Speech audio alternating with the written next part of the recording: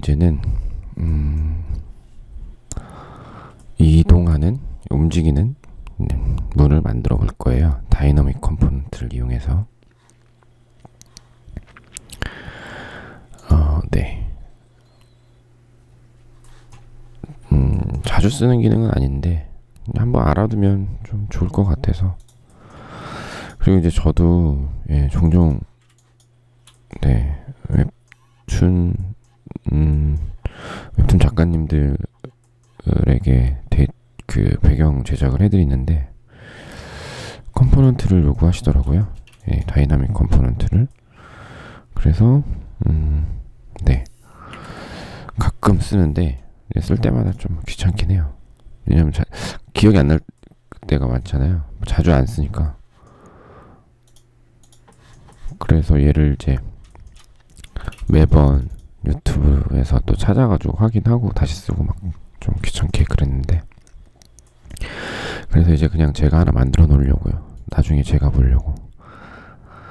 자 이렇게 프레임 만들었으니까 make component 해주고 프레임이라고 할게요. door frame. 네 스펠링이 맞나 모르겠다. 그냥 아씨 확인하고 확인해야겠다. 잠깐만요. 어, 이거 프레임이라고 안 쓰네.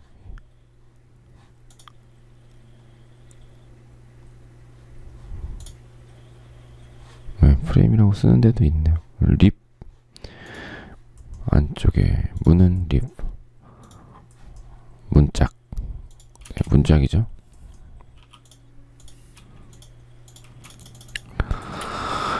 자 얘를 또 make component 문짝 door leaf 됐습니다. 그러면 이제 얘가 두 개가 component가 됐는데 이 전체를 또 make component 이제 door가 되겠죠. 자 door를 하려고 했더니 이제 이미 같은 이름이 있다 그래서 얘를 눌러서 replace 하겠습니다. 왜냐면 제가 이제 영상 만드느라고 몇 번 시도를 했다가 실수들을 몇 번 해가지고 다시 만드는 거거든요. 자, 그러면 네, door component가 생겼는데 자, 얘를 이렇게 한번 해볼게요. 마우스 클릭해서 dynamic component로 지정을 해주는 거예요. dynamic component attribute 네, 그러면 바로 door하고 door frame leaf 이렇게 나오죠. 네, 준비는 됐고 이제 음, 여러분들이 이제 기억해야 되는 순서가 있는 거죠. 여기서 자 우선 문만 움직일 거 아니에요. 얘만 얘만 얘가 움직일 건데 그러니까 도어 립이 움직이는 거니까 이 립에 립에 이 플러스 버튼 누른 다음에 이 어트리뷰트 있잖아요. 네. 요거를 플러스를 클릭을 해서 어 일단 음, 여다지 있죠? 여다지. 여다지를 할 건데 자, 여다지를 할 건데 지금 어 Z축으로 움직일 거잖아요. Z축. 그래서 일단 네, Z축으로 움직일 건데 자, 지금 상태는 0이죠. 그리고 이 상태를 보여주는 거예요. 돌리겠다는 뜻이 아니고. 그 다음에 또 어트리뷰트 해서 원 클릭. 그러니까 한번 클릭했을 때 움직여라. 이건 애니메이션에 대한 문제예요. 그래서 원 클릭 해줍니다. 지금은 현재는 0이고 한번 클릭하면 돌아가라 라는 명령을 써줘야 돼요. 돌아가라. 돌아, 회전해라. 돌아가라. 되돌아가라. 이 뜻이 아니고 회전해라. 회전해라인데 펑션에 보면 펑션에 보면 네, 이걸 누른 다음에 펑션에 보면 쭉 여러 가지 기능들이 있어요. 근데 이제 저는 잘 모르고 우리가 이제 애니메이트 애니메이트를 볼 거예요. 애니메이트 요거죠. 애니메이트 어, 모든 애니메이션 그러니까 원 클릭을 했을 때 쓸 수 있는 펑션이 나오는데 애니메이션들이 나와요. 애니메이션 자, 이 애니메이션하고 네, 애니메이션하고 이제 요걸 한번 눌러 볼게요. 애니메이션. 딱 눌러 주면 그 여기 보면 애니메이션 펑션 기능이 있죠. 그래서 이거를 인서트를 눌러 주시면 야 여기 내용이 여기로 들어가요. 자 근데 우리는 뭘 바꾸면 되는 거냐면 애니메이 이건 이제 폼이에요 폼. 그래서 여기 어트리뷰시라고 돼 있는 부분 있죠. 이걸 바꿔야 돼. 근데 뭘로 바꾸냐면 여기 보면 R O T Z라고 돼 있잖아요. 똑같이 R O T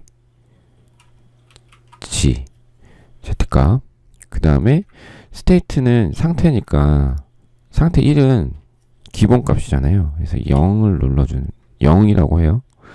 스테이트 G 두 번째는 뭐냐면 내가 얼만큼 움직여서 다 클릭을 한 번 했을 때 얼만큼 회전을 할 것이냐. 90을 입력하면 90도가 돌아가는 거겠죠.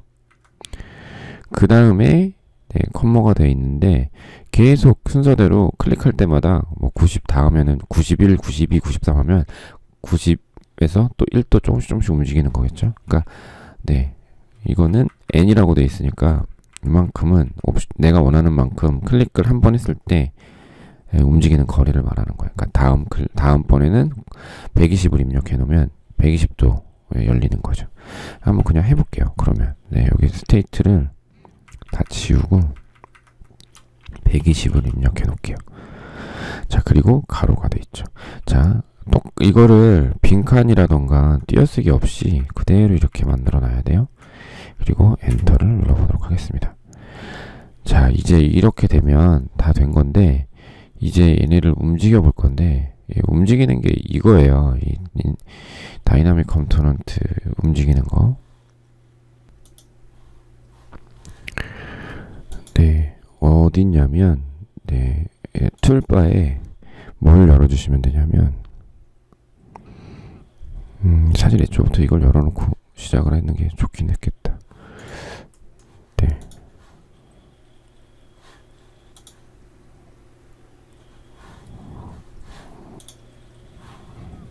네, 여기 보면,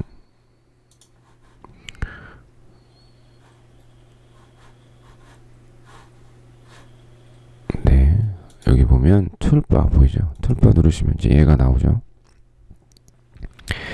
루비들이 많이 설치되어 있어서 그런지 조금 느리네요. 반응이.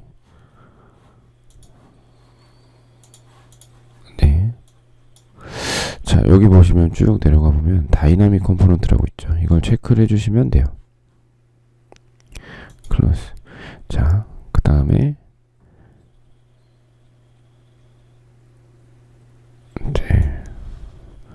자, 여기서 보시면 요거 네, 이거거든요. 이거 클릭한 다음에 화살표인데 여기 가져가면 다른 데 가져가면은 안 된다고 뜨는데 안 된다고 뜨죠. 근데 문에 가면 원클릭 옵션이 들어가 있기 때문에 이렇게 떠요. 그래서 클릭하면 얘가 움직입니다. 근데 문제는 네, 문이 이렇게 돼버렸죠. 네, 한 번 더 클릭하니까 어떻게 해요? 120도로 갔죠. 다시 클릭하면 원래대로 돌아가고. 자, 문제는 뭐냐면 축, 이 얘를 중심으로 둔다는 건데 그럼 이 축은 왜 저렇게 설정이 되었느냐가 중요하죠. 처음에 우리 만들 때 네. 자, 얘를 보시면 그 전체 component 그러니까 우리가 이거 component가 만들어지는 속성을 잘 보셔야 되는데 component든 그룹이든 그룹을 만드실 때 자 보세요. 그룹 만들어지면 축이 어디 생겨요? 네, 뭐, 오젝트에 이 부분에 생겨요. 이 오리진 점하고 상관없이 그러면 네, 얘를 만약에 이렇게 돌리면 어떻게 될까요? 한번 해볼게요. 메이크 그룹 하면 여기에 생기는 거예요. 자동으로 자동으로 이 전체를 박스를 쳤을 때 예, 생기는 이 부분에 만들어주는 건데 얘도 자동으로 만들어진 거죠. 이 부분에. 여기 이제 안쪽에 있는 이 door frame을 말하는 거거든요. 아니, door leaf, door leaf 문을 말하는 건데, 문짝을. 문짝은 어딨냐면, 축이 여기 있어요.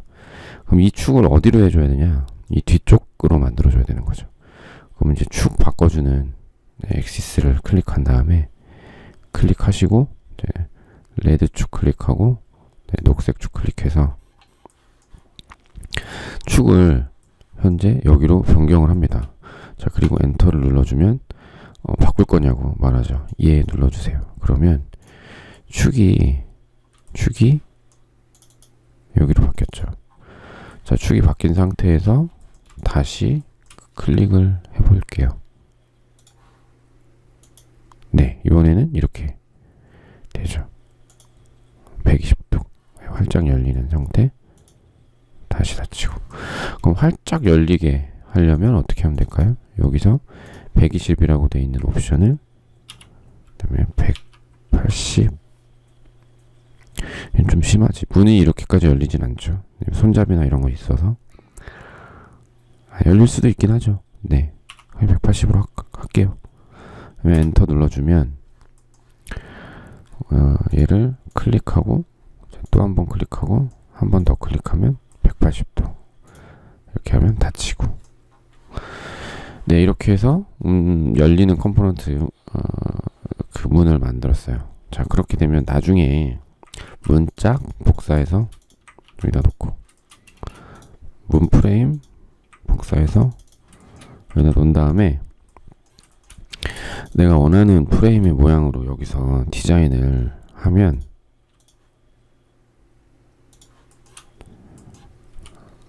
네. 뭐 이런 식으로 여기 있는 모양의 디자인이 바뀌겠죠. 그 다음에 얘도 뭐 손잡이 같은 거 이렇게 만들어서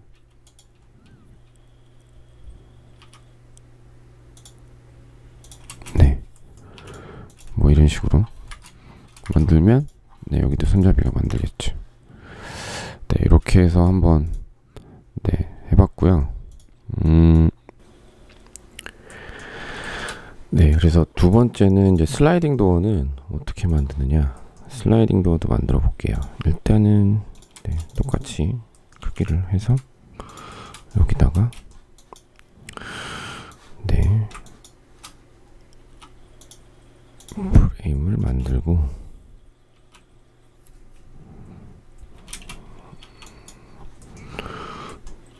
네 얘도 두께도 만들고 make component?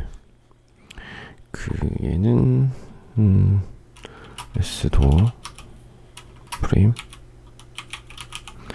이렇게 할게요. 그리고 뒤쪽에다가 슬라이딩 문을 네, 만들어주고 얘는 component 이름을 S door leaf 라고 하겠습니다. 그리고 전체를 선택해서 또 make component S door. 자 그러면 이제 다 준비가 됐는데 얘를 볼게요. 얘는 이 문짝 있죠? 그 다음에 프레임으로 이루어져 있는데 어 플러스 버튼 눌러가지고 어 현재의 그 포지션 X인데 레드가 X예요. 그래서 현재 포지션 X를 눌러보면 0으로 나오네요. 그쵸? 그리고 어, 네. 들어가서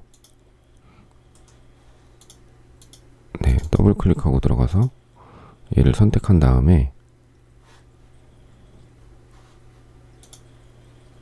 아 프레임을 제가 썼네. 잘못했어요 네, 프레임에다가 X를 넣었죠? 이게 아니고요. 립에다가 넣어야죠. 립에 X를 넣고 그 다음에 네, 가볼게요. 문을 선택해 보면 포지션이 이렇게 나와요. 그쵸? 여기다가 어, 추가로 네, 원클릭 애니메이션을 넣습니다. 원클릭. 네, 조금 이해하기 쉽게 하려면 네, 바깥에서 할게요. 여기서. 여긴 또 0이네 네 들어가지 마시고 여기서 할게요. 자 맨 바깥에서. 예, 어트리뷰트 플러스 원클릭. 네, 원클릭을 했을 때 예, 움직이는 거. 예, 움직이는 거. 아까 뭐 다 예, 애니메이트였잖아요. 다. 예, 인서트 한 다음에. 자, 여기는 예, 위치를 이동하는 거니까 그냥 X 눌러주시면 돼요.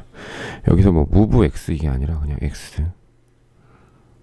위치는 처음에 위치는 0 그리고 다음 위치는 얼만큼 움직이면 될까요? 이거는 음, 모르니까 네, 얘를 이동을 해 보겠습니다.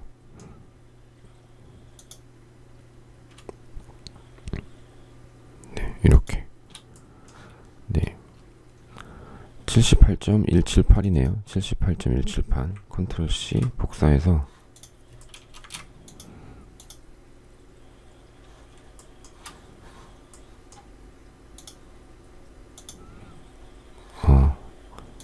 네, 이거죠. 이걸 복사해야 되죠. 이동을 한 다음에 여기서 확인을 해야 돼요.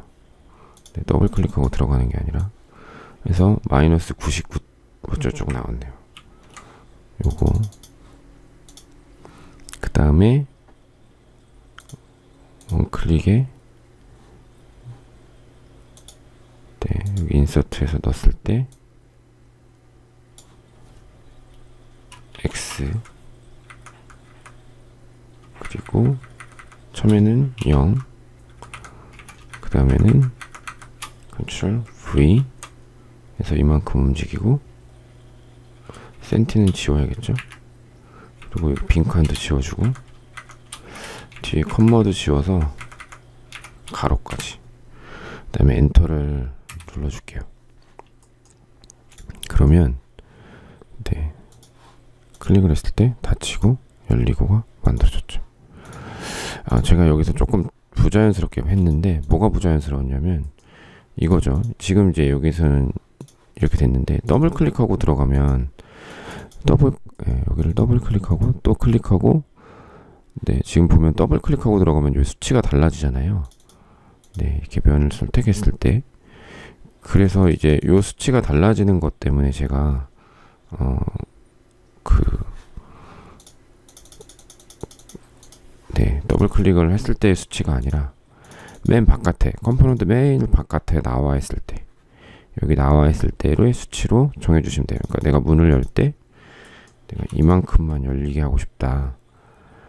어, 그랬을 때 이 수치가 아니고 움직인 다음에 바깥으로 나왔을 때 이 수치 지금 마이너스 58점 뭐 이렇게 돼 있는 거 이거 있죠. 자, 이걸 복사해서 잠깐만 숫자가 너무 커가지고 네. 헷갈리네요. 여기에서 점을 하나 찍고 사이에다 넣을게요. 출V 센티미터 하고 칸 지우고. 자 지금 그러면 숫자가 지금 3개인데 이게 되게 복잡해서 보이는데 그럼 네, 이 부분을 좀 지울게요 뒤에. 이거 복잡하니까. 어차피 설수점이라서. 자 이걸 지우고 99도 네, 여기 뒤에 부분을 지울게요. 자 간단하게 만들었어요. 그쵸? 네, 한 번 클릭했을 땐 0이고 그 다음에는 마이너스 58cm 가고 또 마이너스 99cm를 간다. 자 이렇게 해서 엔터 눌러둘게요. 그린 다음에 클릭을 해보면 네두 번 열고 한 번 더 열리고 이렇게 되는 거죠. 자 이렇게 하신 다음에 에, 뭐 이제 여러분이 이거를 원하는 데다가 이렇게 복사해서 쓰시면 네 됩니다. 네 이제 한 번에 다 열리죠, 그렇죠? 이럴 때는 유니크 하면 되나? 얘를? 유니크? 얘도 유니크?